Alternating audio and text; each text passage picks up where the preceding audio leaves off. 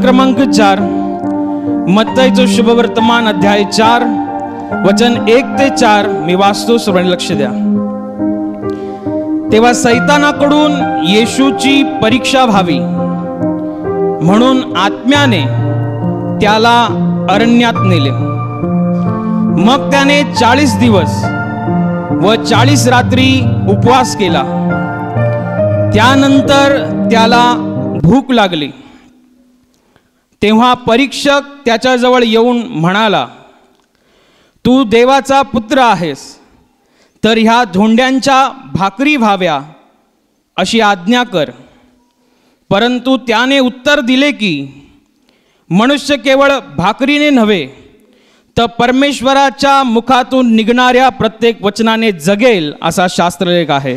हाललोया हाललोया हाललोया. आपण वाचत आहोत प्रभू येशू ख्रिस्त ज्यावेळेस या पृथ्वीवरती मनुष्य रूपामध्ये होता आणि कार्याचा अस्सल आरंभ करण्या अगोदर येशू ख्रिस्ताने बाप्तिस्मा करणाऱ्या योहानाकडून पाण्याचा बाप्तिस्मा करून घेतला. आणि जेव्हा येशूने पाण्याचा बाप्तिस्मा करून घेतल्यानंतर पवित्र आत्मा कबुतराप्रमाणे येशू ख्रिस्तावरती येऊन राहिला. आणि या पवित्र आत्म्याने येशूला अरण्यात नेले जंगलात नेले. आणि तिकडे जंगलात नेल्यानंतर चाळीस दिवस आणि चाळीस रात्र येशू ख्रिस्त त्या अभयारण्यामध्ये होता म्हणजे जंगलामध्ये होता तो वनपशूंमध्ये जंगली जनावरांमध्ये होता आणि देवदूत येऊन येशू ख्रिस्ताची सेवा करत होते. येशू ख्रिस्त पूर्णपणे चाळीस दिवस चाळीस रात्र त्याने काहीच खाल्लं नव्हतं. बायबल म्हणतं की त्याने उपवास केला होता तो उपवास उपवास काळामध्ये होता आणि चाळीस दिवस चाळीस रात्र भरल्यानंतर येशू ख्रिस्ताने त्याचा उपवास काळ पूर्ण केल्यानंतर बायबल असं म्हणतं की येशू ख्रिस्ताला भूक लागली. आणि ही भूक लागली असताना पवित्र शास्त्र सांगत आहे की सैतान जो परीक्षक आहे अवघ्या मनुष्य जातीचा वैरी सैतान येशूकडे येतो. आणि येशूला म्हणतो की तू जर देवाचा पुत्र आहेस तर ह्या धोंड्यांना ह्या दगडांना आज्ञा कर की भाकर हो म्हणून. परंतु येशू ख्रिस्त सैतानाचा कुटील कट ओळखतो येशू ख्रिस्त सैतानाच्या त्या कुटील स्वभावाला ओळखतो. आणि येशू म्हणतो की मनुष्य केवळ भाकरीने नव्हे तर परमेश्वराच्या मुखातून निघणाऱ्या प्रत्येक वचनाने जगेल प्रत्येक शब्दाने जगेल. चाळीस दिवस चाळीस रात्र रानामध्ये येशू ख्रिस्ताने काय केलं त्याविषयी बायबलमध्ये लिहिलेलं नाही आहे याचा अर्थ ते किती गहन आहे ते किती गुपित आहे ते किती आत्मिक आहे. हे रहस्य इतकं आत्मिक आहे की जे बायबलमध्ये सरळ शब्दामध्ये लिहिलेलं नाही आहे की चाळीस दिवस चाळीस रात्री येशू ख्रिस्त रानामध्ये होता हे खरं आहे परंतु तो काय करत होता हे लिहिलेलं नाही आहे तर का? कारण हे खूप आत्मिक आहे. येशू ख्रिस्त चाळीस दिवस चाळीस रात्र पूर्णपणे आत्म्यामध्ये होता. परमप्रधान परमेश्वराशी तो संलग्न होता एकनिष्ठ होता एकरूप होता एकंदरीत आत आध्यात्मिकतेमध्ये होता तो आत्मिकतेमध्ये होता. आणि ह्या आत्मिकतेच्या काळानंतर आध्यात्मिकतेच्या काळानंतर आत्मिक उपवास काळानंतर जेव्हा येशू ख्रिस्ताला भूक लागली आता येशूला भूक लागली त्याचं कारण असं आहे की येशू ख्रिस्त तुमच्या आणि माझ्यासारखा मानव मानव मानव बनून या पृथ्वीवरती आला होता. तो राजांचा राजा होता तो प्रभूंचा प्रभू होता परंतु समस्त मनुष्य जातींच्या पापांच्या क्षमेसाठी कोणीतरी कोणीतरी ते रक्त सांडावं आणि म्हणून ते येशू ख्रिस्ताने पवित्र येशू ख्रिस्ताने मानवाचं रूप धारण केलं. तो पर पूर्णपणे मनुष्य झाला. जसा आपल्याला तहान लागते येशूलाही तहान लागली होती. आपल्याला चालून दम लागतो. बायबलमध्ये येशूलाही चाल चालताना दम लागला होता. आपल्याला जेवढ्या वेदना होता तेवढ्या येशूलाही वेदना होत होत्या. कारण तो पूर्णपणे मानव रूपामध्ये होता. पूर्णपणे तो पूर्णपणे देव होता. तो पूर्णपणे मनुष्य बनून या पृथ्वीवरती राहिला.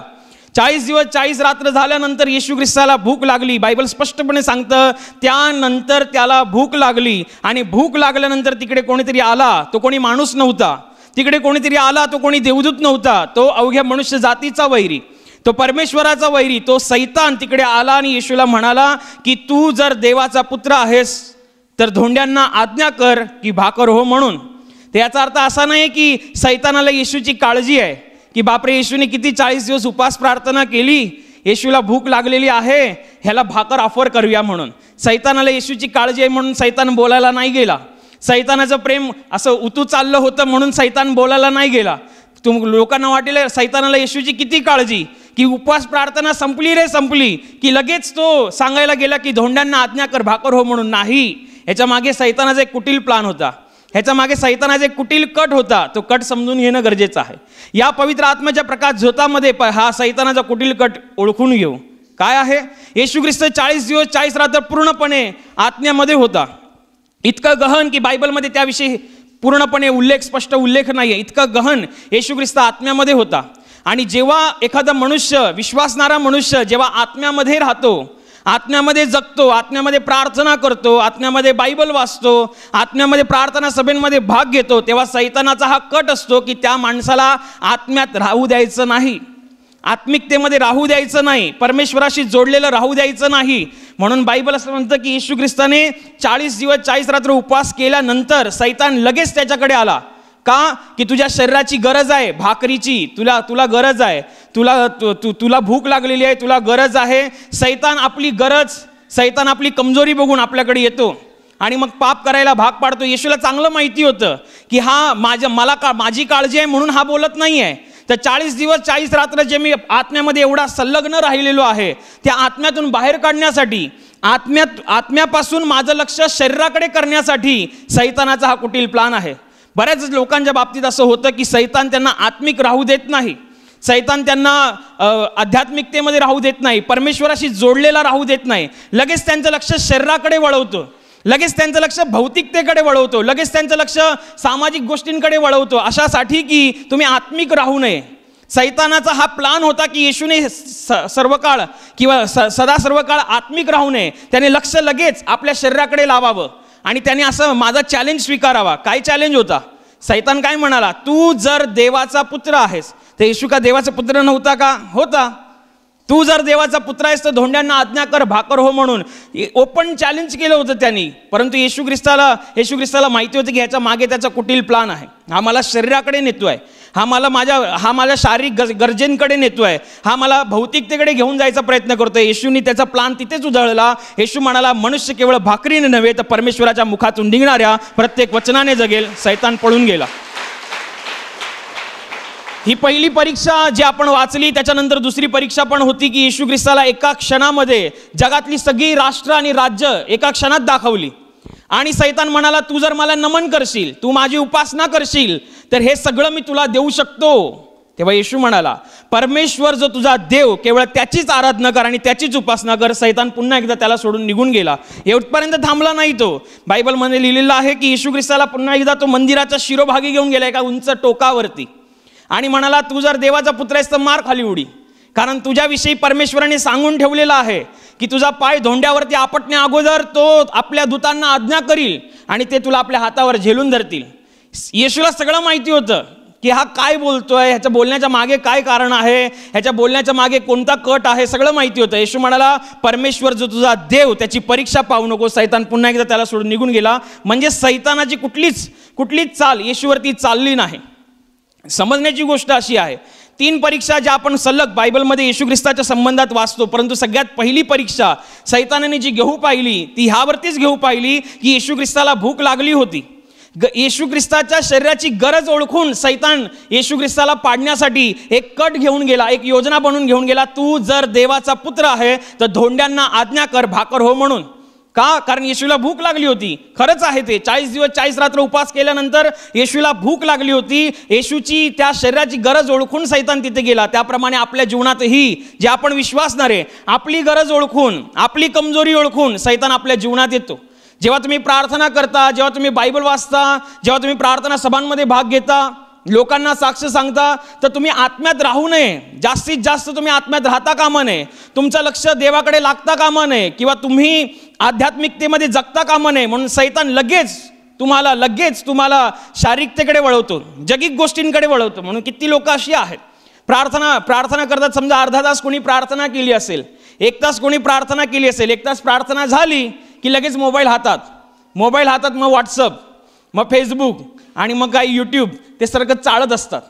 आणि मग नंतरला एक तास प्रार्थना सैतानाची ही चाल आहे की तुम्ही प्रार्थना करून झाल्यानंतर तुम्ही आत्म्यामध्ये राहू नये.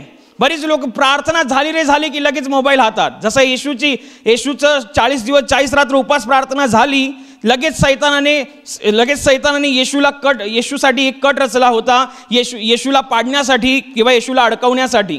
त्याप्रमाणे सैतान तुम्हाला मोबाईलचा मोबाईलचा मोह दाखवत असेल.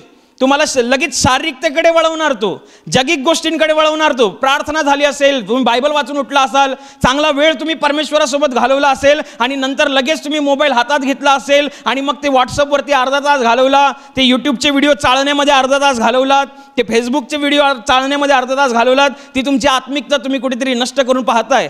हा सैतानाचा प्लानच आहे की तुम्ही तुम्हाला तुम्ही स्वतःला गुंतवून घ्या. कशामध्ये कशामध्ये तुमचा वेळ वाया गेला पाहिजे? कशा ना कशामध्ये तुमची तुमची मेहनत वाया गेली पाहिजे? बायबलमध्ये लिहिलेलं आहे येशू ख्रिस्ताचं स्वर्गाचं गणित आहे काही वाया जाऊ नये म्हणून गोळा करा. तुम्ही वाचलंय का आहे येशू ख्रिस्ताने पाच भाकरी आणि दोन मासे याच्यावरती स्वर्गातून आशीर्वाद मागवला आणि ह्या पाच भाकरी दोन माशांना पाच हजार लोकांमध्ये जेवायला दिलं. सगळे लोक जेवून तृप्त झाले आणि येशू म्हणाला काही वाया जाऊ नये म्हणून गोळा करा. तेव्हा उरलेल्या तुकड्यांचे बारा टोपल्या जमा झाल्या. एवढा मोठा चमत्कार तिकडे झाला. याचा अर्थ स्पष्ट आहे. याचा अर्थ स्पष्ट आहे की येशू ख्रिस्त येशू ख्रिस्ताच्या राज्याचं गणित आहे काही वाया जाऊ नये म्हणून गोळा करा. वाया जाऊ नये हे देवाचं गणित आहे. सैतानाचं गणित आहे तुमचं वाया जायला पाहिजे. काय वाया जायला पाहिजे? तुम्ही प्रार्थनेत घेतलेली मेहनत. तुम्ही एवढा वेळ बायबल वाचलात ती मेहनत. तुम्ही इकडे येण्यासाठी जी धडपड केलं ती मेहनत. कितीतरी लोक प्रार्थना सभेमध्ये असतात किंवा प्रार्थना करतात बायबल वाचतात आणि मग नंतरला कोण मित्र येतो आणि मग नंतरला कोण मैत्रीण येते मग कोण शेजारची येते आणि मग तुला माहिती आहे का असं झालं तिकडे? तुला माहिती आहे का तिच्या घरात असं भांडण झालं? तिच्या घरात ते पळून गेलं तिच्या घरात असंच झालं तसंच झालं. मग एवढी मोठी तुम्ही प्रार्थना केली ती राहिली बाजूला.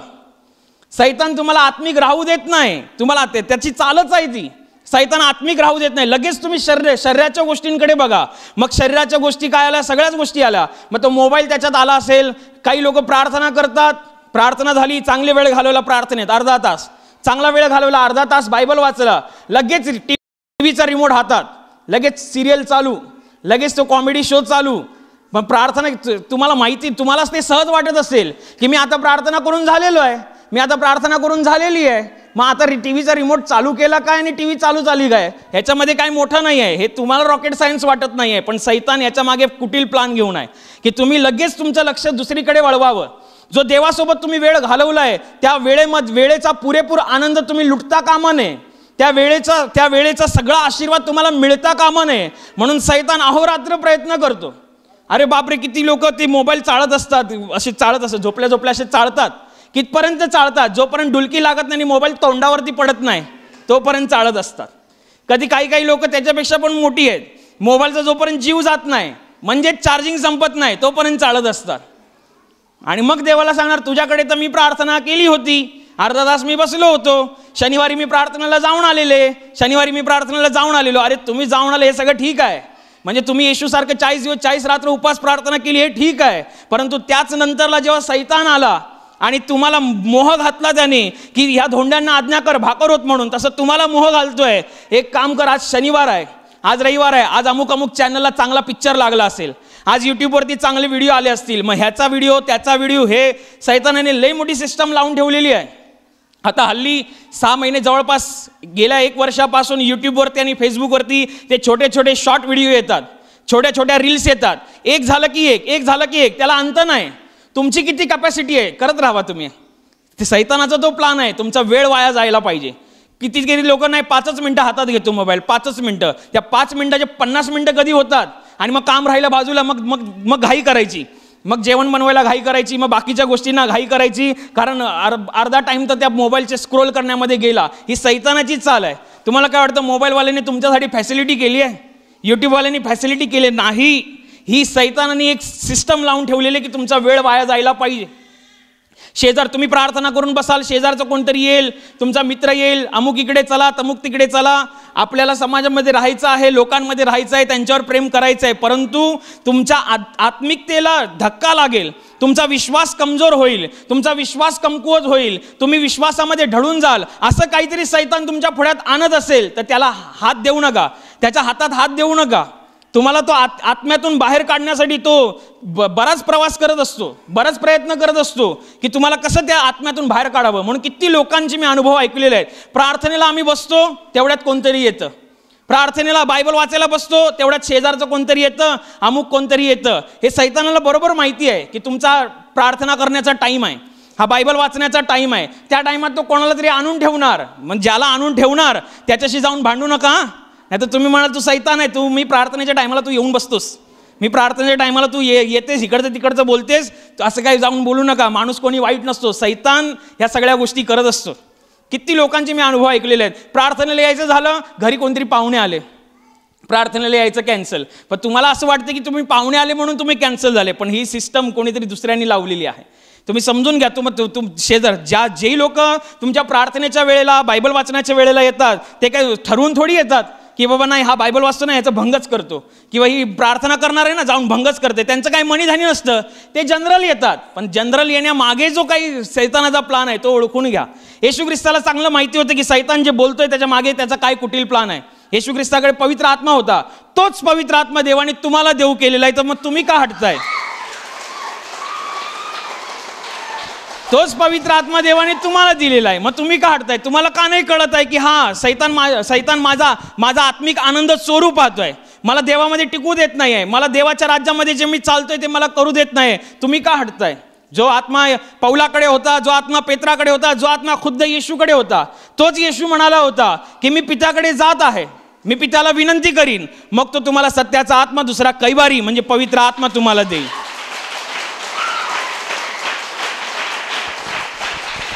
महा पवित्र आत्मा आपल्याकडे आहे तर मग आपण सैतानाची कुटील प्लान का का ओळखू नये?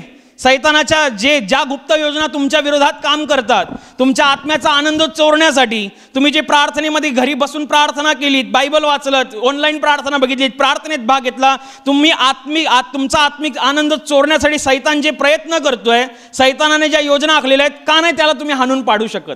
आणून पाडू शकता. पण कसं तुम्ही बघाल तेव्हा. नाहीतर सैतानाने चांगली सिस्टम लावलेली आहे की प्रार्थना झाली लगेच तुम्हाला सांगणार टी व्हीचा रिमोट घ्या आता टी व्ही चालू कर. इकडे ही सिरियल लागलेली आहे. तिकडे ते सिरियल लागलेलं आहे. तिकडे फेवरेट शो लागलेला आहे. असं काही नाही आहे मोबाईलचा आहे. मोबाईल तर हातात सगळ्यांचाच असतो. मोबाईल मोबाईल स्क्रोल करत राहणार हे बघत राहत ते बघत राहत त्याच्यानी काही नाही होणार. कोणी आलं त्याला त्याच्याशी जाऊन भांडू नका की तू माझ्या प्रार्थनेच्याच टायमाला येतोयस म्हणून. तुम्ही त्याच्याशी प्रेमाने वागा आणि सैतानाचा प्लान ओळखून घ्या. वेळीच उधळून लावा. येशू ख्रिस्ताने टप्प्याटप्प्याला सैतानाचे सगळे प्लान उधळून लावले. टप्प्याटप्प्याला. बायबल असं म्हणतं एकदा येशू ख्रिस्त एका घरामध्ये होता येशूचे शिष्य पण होते आणि तिकडे एक स्त्री येते सगळी सगळ्यात महागडं सुगंधी अत्तर घेऊन. अल्बास्त्र तेलाची सुगंधी अत्तर तेलाची कुपी घेऊन येते आणि ती येशूच्या मस्तकावरती टाकते. सगळं घर त्या सुगंधाने दरवळतं. एकदम महागडं अत्तर असतं ते. तेव्हा त्या लोकांना समजतं तिकडे असलेल्या उपलब्ध असलेल्या लोकांना समजतं की हे अत्तर खूप महाग आहे. कारण हा हे साधं सुद्धा नाही आहे. शंभर दोनशे रुपयाचं नाही आहे. हे हजारोंच्या संख्येमध्ये असलेलं हे अत्तर आहे. महागडं तेल आहे. तेवढ्यात एक जण कोणतरी म्हणतो की हिने तेलाची नासाडी केलेली आहे. हिने तेलाची नासाडी केलेली आहे. हिने असं करायला नाही पाहिजे होतं. उलट हिने हे तेल विकायला पाहिजे होतं. विकल्यानंतर पैसे आले असते. आणि मग त्या पैशातून गोरगरिबांना खायला दिलं असतं. गोरगरिबांना कपडे दिले असते आणि मग बरेच काहीतरी त्यांनी गणितं सांगितली. आता ज्याने सांगितली ते बाजूचे ऐकून असं म्हटले नाही नाही नाही हा बरोबर बोलतोय. हा जो बोलतोय बरोबर बोलतोय. की एवढं महागडं तेल असं ओतण्यापेक्षा एवढं महागडं तेल असं वाया घालवण्यापेक्षा विकलं असतं तर एवढे एवढे हजारोनी पैसे आले असते. मग एवढ्या एवढ्या लोकांना खायला दिलं असतं. एवढ्या लोकांना कपडे दिले असते. एवढ्या लोकांची काहीतरी सोय करता आली असती. परंतु येशू सगळं काय ऐकून होता. येशूला बरोबर माहिती आहे. की ज्याने हा प्लान सांगितलाय की बाबा हे जाऊन विका.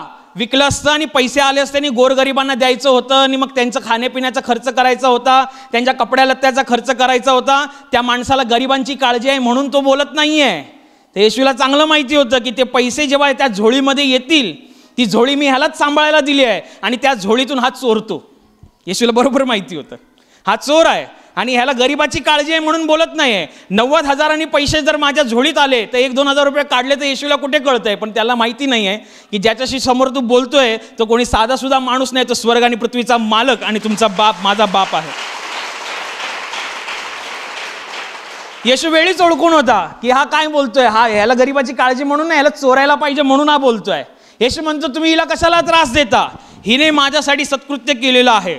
माझी सुवार्थ जिथे कुठे सांगितली जाईल ते तिथे तिथे हिने जे माझ्यासाठी सत्कृत्य केलं आहे ते हिच्या स्मरणार्थ सांगितलं जाईल. बघा दोन हजार वर्षापूर्वी तिने केलं होतं. येशूने काय सांगितलं? की जिकडे जिकडे माझं नाव सांगितलं जाईल तिकडे तिकडे तू जे केलंस ना माझ्यासाठी त्याची आठवण केली जाईल. आता आपण आठवण केलीच ना? येशूचे त्यावेळेचे शब्द आजसुद्धा म्हणजे ह्याचा अर्थ देवाचे शब्द जिवंत आहे. देवाचे शब्द कधी मरत नाही. ते काल पण जिवंत होते आज पण जिवंत आहे. तिथून पुढे जिवंत राहा. येशू वेळोवेळी सैतानाचा प्लान ओळखून होता. वेळोवेळी त्याला माहिती होतं. बायबलमध्ये लिहिलेलं आहे येशू ख्रिस्त जेव्हा कृसावरती होता तेव्हा शास्त्री आणि फरुषांच्या द्वारे सैतानाने त्या सैतानाने येशू ख्रिस्ताला येशू ख्रिस्ताला खाली उतरायला सांगितलं. काय सांगितलं? तू देवाचा पुत्र आहे तर उतर खाली. येशू ख्रिस्त रक्त रक्ताच्या थारोळ्यामध्ये होता. शरीर शरीरातून रक्त वाहत होतं. वेदनेने विवळत होता.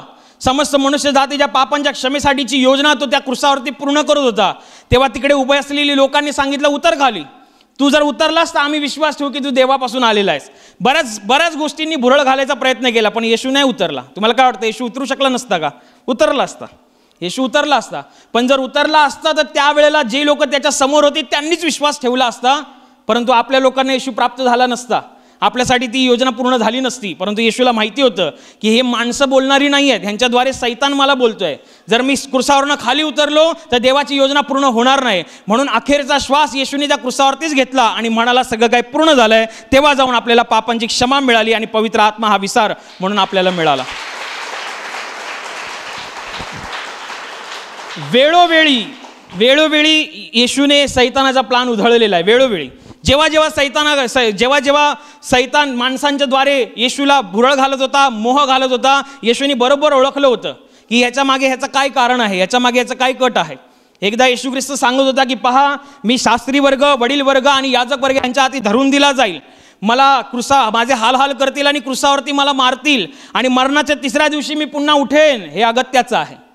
तेव्हा येशूच्या बारा शिष्यांमधला एक शिष्य पेत्र येशूच्या समोर आला म्हणाला की प्रभूजी तुमच्याबरोबर असं काही नको होऊ दे. तुमच्याबरोबर असं काही नाही होणार.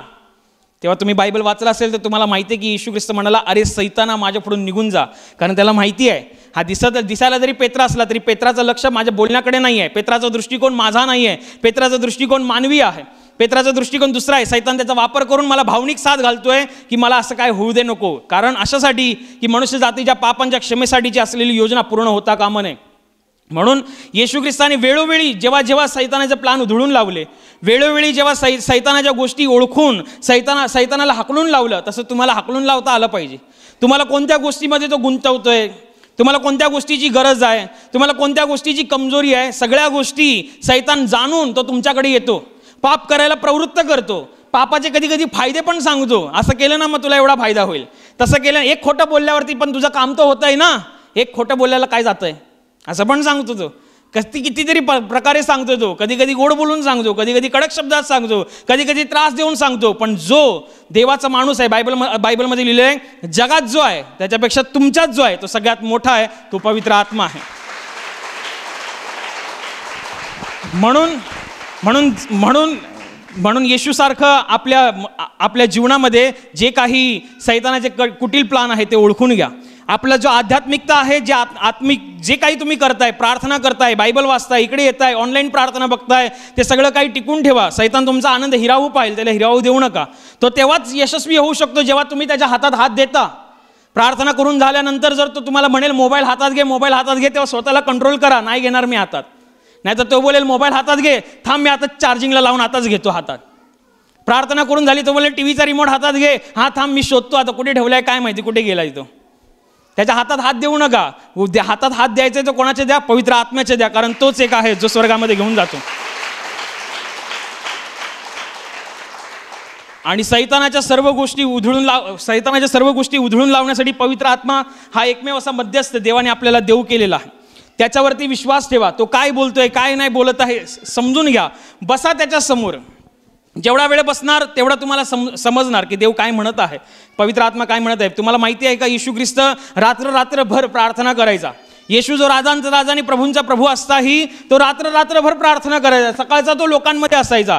तो जर रात्रभर प्रार्थना करायचा तर मग तो जर रात्रभर देवाच्या सानिध्यात राहायचा तर मग आपण किती राहायला पाहिजे? आपण किती करायला पाहिजे आपण किती वेळ परमेश्वराला द्यायला पाहिजे आणि जेव्हा वेळ देऊन होतो त्याच्यानंतर महत्त्वाची भाग आहे. काय मह महत्त्वाचा भाग असतो की आपल्याला काय कराय महत्त्वाचा भाग असतो की आपल्याला काय करायचं आहे. बऱ्याच पद्धतीमध्ये ज्या वेळेला येशू ख्रिस्त चाळीस दिवस चाळीस रात्र किती लोक उपास प्रार्थना करतात. उपास प्रार्थना केल्यानंतर रात्रीच्या रात्रीच्या वेळेला जेवत असतील किंवा काय अचानक रात्रीच्या वेळेला जेवत असतात आणि मग ती प्रार्थना करत राहा तुम्ही. जशी उपास प्रार्थना जमत असेल तुम्हाला साधी प्रार्थना जमत असेल इकडे येऊन प्रार्थना जमत असेल वेळ घालवत राहा. ज्याप्रमाणे त्यांनी बायबलमध्ये लिहिलेलं आहे मार्था आणि मरिया मरिया ही येशू मरियाकडे काम असतानाही घरामध्ये काम असतानाही ती येशूच्या चरणाजवळ बसून ऐकत होती. येशूच्या चरणाजवळ बसून ती परमेश्वराच्या गोष्टी जे काही येशू ख्रिस्त सांगत आहे ते ऐकत होती. तेवढा वेळ तुम्हाला देता आला पाहिजे. परमेश्वरामध्ये राहा परमेश्वरा परमेश्वराला वेळ द्या. म्हणजे देवाच्या राज्यातून तुम्हाला तुम्हाला ती समज प्राप्त होईल. तुम्हाला ती बुद्धी प्राप्त होईल अशासाठी की तुम्ही सैतानाचे प्लान वेळीच उधळून लावाल. आणि सैतानाच्या प्रत्येक गोष्टी प्रत्येक कट उधळून लावून परमेश्वराच्या राज्यासाठी आपण स्वतः तयार हवे म्हणून पवित्र आत्माच्याद्वारे मिळून प्रार्थना करू. हा ले लोय्या हा ले लोय्या आणि आता प्रार्थना करण्याची वेळ आहे. प्रभू येशू म्हणाला माझ्या नावाने तुम्ही पित्याजवळ जे काही मागाल ते तुम्हाला परमेश्वराच्या गौरवाकरिता देण्यात येईल. होय त्याचं वचन हेच सत्य आहे. त्याचं वचन तो पूर्ण करणं जाणतो. तो आपल्या वचनांना पूर्ण करण्याचं सामर्थ्य बाळगतो. म्हणून त्याच्या वचनावर त्याच्या सामर्थ्यावर विश्वास ठेवून आपण सर्व मिळून प्रार्थना करत आहोत. म्हणून तुमच्या ज्या भागाला आजार आहे त्या भागावर हात ठेवा. तिथे हात ठेवणं शक्य नसेल तर आपल्या छातीवर हात ठेवा. तुमच्या जीवनातील आणि शरीरातील प्रत्येक दुःख संकट आणि आजार प्रभू येशूच्या पवित्र नावाने या क्षणाला नष्ट होत. तुमच्या जीवनातील बंधनं आणि श्राप प्रभू येशूने वाहिलेल्या त्याच्या पवित्र रक्ताद्वारे या क्षणाला तुटून जावत तुमच्या जीवनातील समस्या आणि सैतानाचा भयावह अंधार प्रभू येशू ख्रिस्ताच्या दिव्य आणि पवित्र प्रकाशामध्ये पूर्णपणे नष्ट होत. तुमच्यावर तुमच्या कुटुंबावर प्रभू येशू ख्रिस्ताचे महान आशीर्वाद येऊन. आमेन.